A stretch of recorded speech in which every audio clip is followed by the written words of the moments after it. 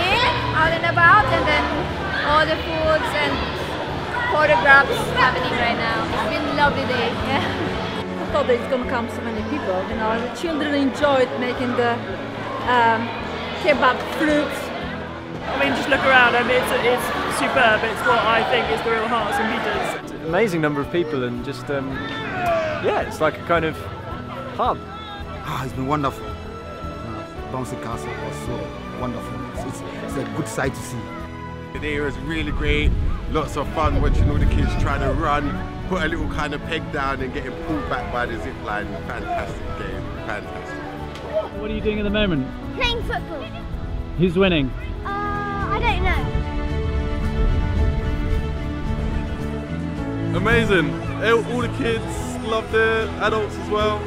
But I think the girls definitely beat the boys today.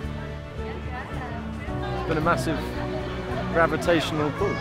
Lots of people actually saying to me they felt drawn here, which is you know, super spiritualized things, but it did feel spirit moving and people people called, so it's been really nice.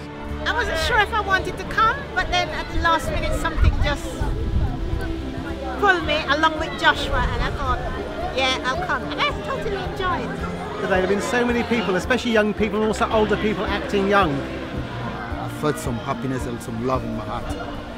We should do this more often. Barbecue went very well. Everyone enjoyed the sausages. They were properly cooked.